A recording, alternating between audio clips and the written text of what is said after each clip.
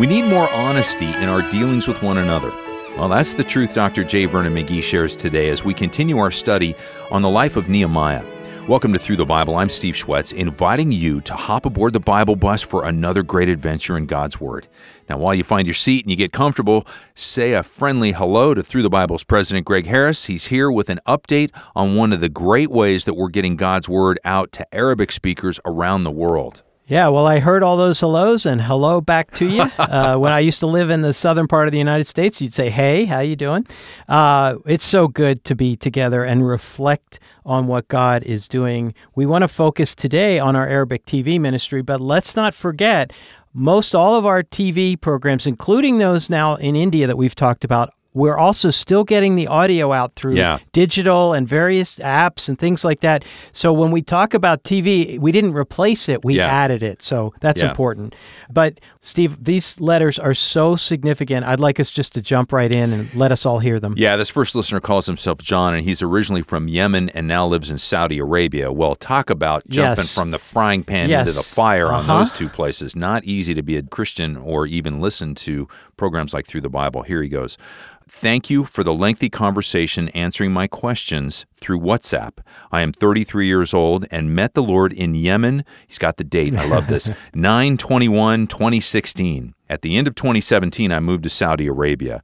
I work hard, try to live a quiet life, and love the Lord. I'm grateful for your programs that feed my soul. Steve, I often see these what look like short letters and think there's a book in that letter. Yeah. Uh, like you said, just to go from Yemen, not an easy place, to Saudi Arabia, where you literally uh, can get in huge trouble just for having a Bible uh, or uh, uh, saying you're a Christian. And note this our team has a lengthy conversation with him on WhatsApp. WhatsApp. Yeah, that's right. We love WhatsApp. And it just shows, remember, when we talk about what we do, it isn't just always flinging the seed out there. We have people all around the world that are cultivating the Yeah. plants and, and helping, and particularly in the Muslim world, answering questions is huge. Yep. So I just talked a lot, so I'm going to let you read the next letter. Got it. Saida in Egypt. Thanks to the Lord for your great efforts. I was Muslim, but now I became a true Christian, saved by grace of the Lord. I am Iranian, but I understand Arabic well. I am hungry to understand the Word of God through your program. In fact, your program presents the bread of my spirit. Please pray for me and my family. Once again, a simple line. I was a Muslim, but now I became a true Yeah. Christian. I mean, that is a that is a, a truly supernatural event that took place. And she's Iranian, which means she would normally speak Persian or Farsi. Farsi, Uh, but she understands Arabic. And and again, this is why we try to spread the broadcasts and the digital as widely as we can, because you just don't know when that seed is going to take root. Now. Th- This last one is a man that we've talked about before. We've written articles Yeah. about him. His name is Hani, and he is in Yemen. Now, because of the sensitivity, Greg, we're not going to mention the countries uh, that this is occurring in, but this is an incredible story. Here's what this man writes to us. He says, I am grateful to the Lord for my faith. Your programs help me become mature in my knowledge. Please pray my family comes to know the joy found in a life believing and serving Him. I often share your program with my family in here, and then he names a couple of very difficult countries. Yes, yes. And while I was in prison in one of those countries, I was blessed to see many people come to the Lord. This is the exciting part. They're new believers, but still in prison. I share your teaching with them as well. Please pray with me that their faith grows in this unfertile environment. Yeah, and, uh, and Steve, if if we were able to give the specifics, and we're not doing it because we know this particular man, he needs to be protected, and so we want to make sure that uh, we don't do anything to uh, endanger him. But I love how he he points out. We talk about flinging the seed and re- and reaching the fertile soil. He is he is fertile soil, but he understands that it's an unfertile environment. So Yeah. pretty powerful stuff. Yep. Greg, pray for us as we begin our study. Father, uh, we feel like falling on our faces when we see what you're doing in the lives of these Arabic TV viewers, how you're bringing transformation uh, in some of the hardest places, the most unfertile soil in the world. But your power is greater than anything that man can set up. And so we praise you and thank you. We pray you'd continue to use your word to break through and transform lives. In Jesus' name, amen. Here now is Dr. J. Vernon McGee with our study in Nehemiah 6 on Thru the Bible. Now, today, friends, we return back to the sixth chapter of the book of Nehemiah. We weren't in the sixth chapter, however, but we did finish the fifth chapter last time. Now, this man Nehemiah has encountered about every form of opposition that is imaginable in rebuilding the walls of Jerusalem. Satan has thrown in his pathway everything that is in his bag of tricks to cause this man to stumble and to fall and to fail in this endeavor. And he does the same thing with us today. Only many times in our experience, why, he succeeds and we do fail. God doesn't want us to, and he's made every arrangement that we should not fail. But we do, but Nehemiah did not. And we now come to this sixth chapter. The wall is about finished. And we saw last time that the thing that hurt Nehemiah more than anything else was the fact that he was not accepting a salary. He was very unselfish, and he was making a great sacrifice to rebuild the wall. And then he found out that some of his brethren, especially among the nobles, they were in the real estate business and they were in the loan business and that they were making money out of the hardship of other folk and out of their difficulties. And as a result, this is the thing that made Nehemiah angry. But he got that straightened out, and he had to do it in a forthright manner. And you can't pussyfoot around when you're dealing with those on the inside that are not being exactly honest and truthful. There are those today that are in our churches, friends, and we need to recognize that. When you hear somebody mouth a few pious platitudes and some very spiritual verbiage, it doesn't mean they're spiritual. It could be just a cover up. You find out whether they've got their hand in the till whether they are making money out of it, whether they are in on this. It's quite amusing and amazing to me that in some places you find some of the brethren, they sell all the real estate to the church that it buys. They handle all the business, but they do it at a profit and at a very nice profit. They sell the insurance and all that. And you generally find that they're not very good in their giving, by the way. They are more interested in the dollar than they are in God's work. And that is the thing that actually hurts the Lord's cause today. Now, he got that straightened out. That doesn't mean that he's solved all the problems and that everything will be a bed of roses from here on, for it wasn't. Now, will you notice verse 1? Now it came to pass when Sanballat and Tobiah and Geshem the Arabian and the rest of our enemies heard that I had builded the wall and that there was no breach left therein. Notice now the honesty of this man. This man is like Nathaniel. There's no guile in him whatsoever. That is, he's not being subtle or clever. So many people today, again, like to use that method in church work, being very subtle. They don't tell you everything they should tell you, you know, about a certain matter. And I've already mentioned this. Reports are not full and complete. They're slanted. They're built up, filled in, and the truth is not told. How many times that happens today? Always appreciated, and I love my cancer doctor. He's a Christian. The very first thing he told me was this when he suspected I had cancer. He said, Dr. McGee, I'm going to tell you the truth because if I don't, you wouldn't have confidence in me. And from that day to this, he has laid it on the line. When there wasn't any hope for me, at least it didn't look like it, he very frankly put it down there. He didn't attempt to paint a rosy picture. He didn't attempt to cover up. He told me like it was.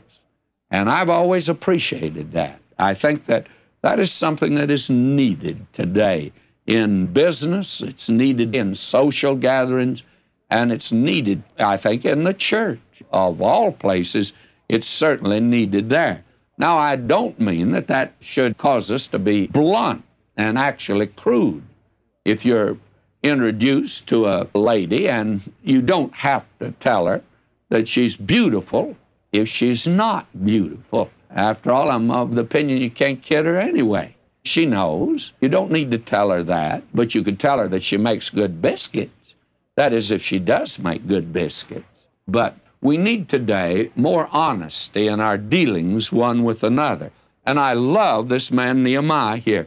Now, Sanballat and Geshem and Tobiah, their enemies, and these three little playfellows, I want to tell you, they've caused a lot of trouble. They've heard that he had finished the walls. Now, notice what he says. Though at that time I had not set up the doors upon the gates. He said, to tell the truth, they got the impression we were through. We weren't through. they got the wrong report. It was exaggerated a little. And the honesty of Nehemiah is a tremendous thing. He's clairvoyant. You just see right through him. He's as clear as the noonday sun. He tells you like it is. Now notice that Sanballat and Geshem said unto me. Now they saw that their opposition had not failed. It's the same old story. When you can't fight City Hall, you join it. And so they said, now, they said, Come, let us meet together in some one of the villages in the plain of oh, Ono. But they thought to do me mischief. Now, the place where they were going to meet is interesting. It was the plain of oh, Ono, O in O. And you know what Nehemiah said? He said, Oh no. He said, You want to meet? in oh no, all right. Oh no, I'm not coming. And they thought to do him mischief. And so the idea was they said, Now let's meet together and talk our differences over and see if we can't work this out. Now, their thought was that they were going to do him harm. They probably attempt to slay him. So, what did he do? Well, verse 3 I sent messengers unto them, saying, I'm doing a great work, so, no use going into detail with that crowd, so that I cannot come down. I don't need to tell you exactly what I'm doing, so I can't come down. I'm doing a good work. Why should the work cease whilst I leave it and come down to you? And I love this man, Nehemiah, and I think that you've discovered that this man has such wonderful characteristics. He'd been successful, and therefore Sanballat and Tobiah and Geshem, they wanted to compromise. Now, he very frankly tells us he hadn't completed the wall. Now, the thing they wanted to do, they wanted him to come to neutral ground to harm Nehemiah. Now, there are those today that want the church to compromise. They feel that you are very bigoted, you are very dogmatic, and if you don't meet with these folk, very candidly, a long time ago, I quit meeting with folk like that. I used to meet with them. But today, I only meet with those that will meet with me around the person of Christ. And you know, it's been wonderful. And I've met with some unusual groups, by the way. I have held meetings now in, well, you just be amazed at some of the churches that we've been in today. And I'm in total disagreement with the organization and with some of the doctrine. But I find that some of these people are real believers. And I'll meet with anybody around the person of Christ. They'll meet like that. But I'm not prepared to meet with the enemy today at all. And I'll be very frank. I think William Jennings Bryan made a big mistake in meeting in Cleveland, Tennessee with Darrow and debating this subject of evolution. Now, I think William Jennings Bryan walked all over Darrow. I think that any honest person reading the debate has to come to the conclusion that William Jennings Bryan was on the winning side. But I think that the very fact he met with this man, that it was really a losing battle. And it's certainly been demonstrated since then that it was. And I don't think that you are going to be able to win an enemy by meeting with him like this. Now, that's my conviction on this. But I don't care what group he belongs to.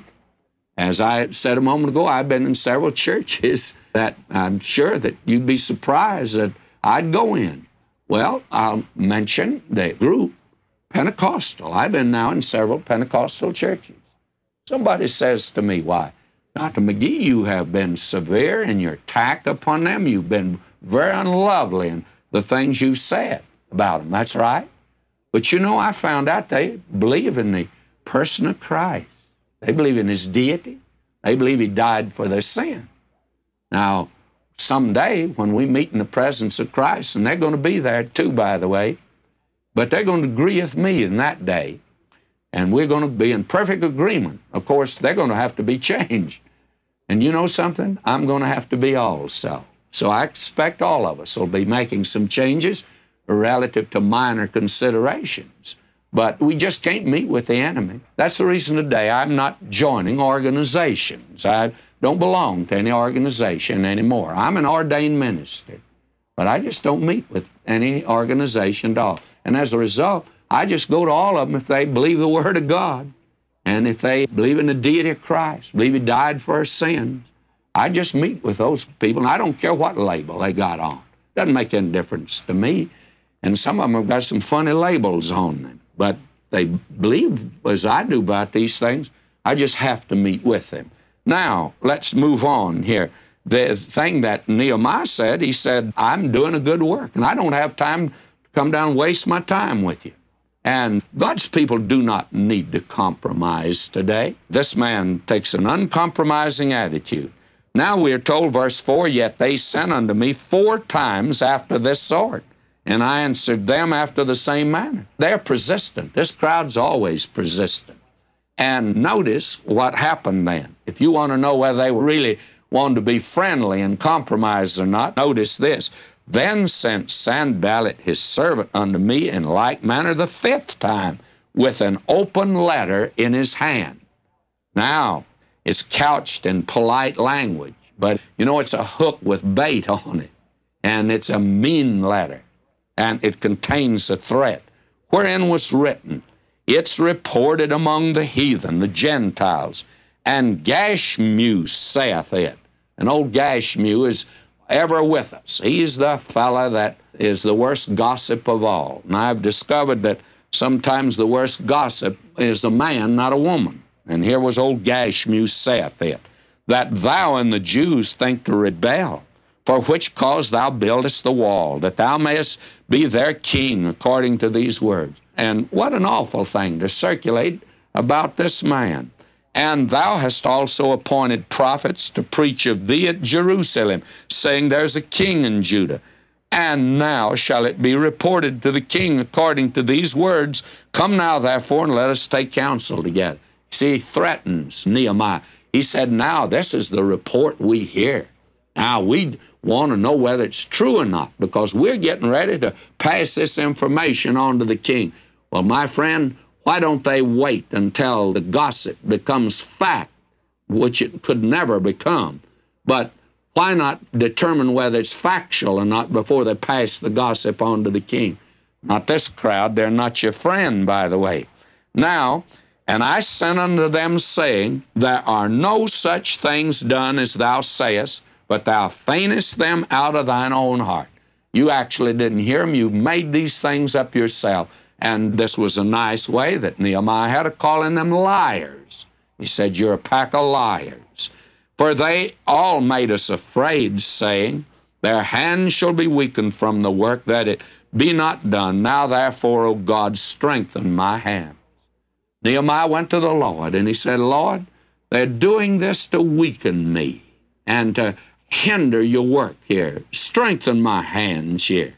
Now, he said, afterward I came unto the house of Shemaiah, the son of Delaiah, the son of Mehetabeel, who was shut up, and he said, Let us meet together in the house of God within the temple, and let us shut the doors of the temple, for they will come to slay thee. Yea, in the night will they come to slay thee.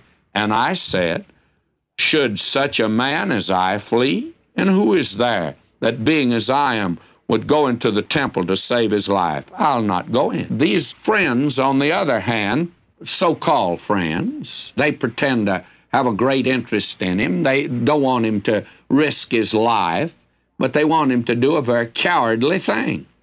And this man, Nehemiah, had a real spiritual discernment. Verse 12 Lo, I perceive that God had not sent him, but that he pronounced this prophecy against me. For Tobiah and Sanballat had hired him. I tell you that this man Nehemiah is in the thick of plots and schemes to destroy him. And he says here, therefore was he hired, that I should be afraid and do so and sin, and that they might have matter for an evil report, that they might reproach me. My God, think thou upon Tobiah and Sanballat, according to these works, and on the prophetess Noadiah and the rest of the prophets that would have put me in fear. And this man Nehemiah now, after he's called them a liar, and he's dealt with this crowd that pretended to be his friends, and I tell you, he's in a difficult spot. He's in between a rock and a hard place. But he turns to God. And now we find in verse 15, the wall was finished in 52 days. Verse 15. So the wall was finished in the 20th and fifth day of the month Elul, in fifty and two days. It came to pass that when all of our enemies heard thereof, and all the heathen that were about us saw these things, they were much cast down in their own eyes, for they perceived that this work was wrought of our God. Only God could have accomplished this through them. Moreover, in those days, now notice here, the trouble's not over, even though it's finished. There's still danger. Moreover, in those days, the nobles of Judah sent many letters unto Tobiah, and the letters of Tobiah came unto them. For there were many, now listen to this, for there were many in Judah sworn unto him, because he was the son in law of Shechaniah, the son of Arah, his son Johanan had taken the daughter of Meshullam, the son of Berechiah. So all this time, there was this playing footsie with the enemies of God. And it ushered in, actually, old Geshem and Sanballat said, Look to the nobles, we're your friends. That man Nehemiah, he's a hard bird to get along with, and we're trying to. And the sons and daughters met each other. They had little get togethers. And as a result, why, there was intermarriage. And because of that, you see, this fella here, Tobiah, had a telephone right in to the walls of Jerusalem. And this wasn't good. And they reported his good deeds before me. So these kinfolk by marriage, they'd come to Nehemiah says, Nehemiah, you're so hard on Tobiah. He's really a lovely gentleman. And they began to tell uh, good deeds of his. And they uttered my words to him. In other words, they were acting as liaison officers, which means there were a bunch of tattletales, and everything Nehemiah would say and what went on, they went back and told Tobiah. And Tobiah sent letters to put me in fear. And Tobiah says, I've heard what you're saying about me, and it's not true. Now that brings us here to the seventh chapter. Walls are finished now. And we're going to see next time, as we move not only into this chapter, but the next one, we're going to see one of the great revivals that took place in that day. After the walls were finished, you must remember that there are two prophets that are prophesying at this time Haggai and Zechariah. And during this period, why, the Word of God will be brought out and read to the people. And as a result, revival will come. We believe that revival can only come today through the Word of God. And we believe that all these movements to get the Word of God out, and we're not alone in this, we're not trying to say that. We believe there are others, and there are many fine pastors trying to get the Word of God out. And we believe on this background we could have revival in our day. Let's pray about it.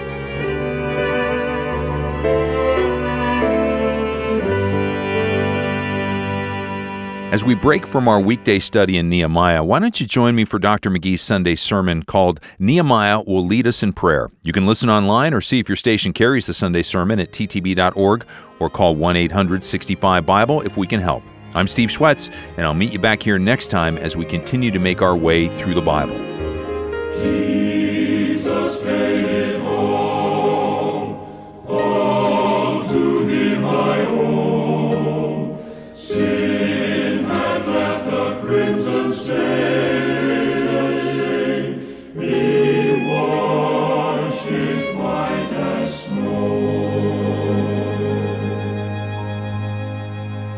We're grateful for our committed listening family who faithfully pray and invest in Thru the Bible as we together take the whole Word to the whole world.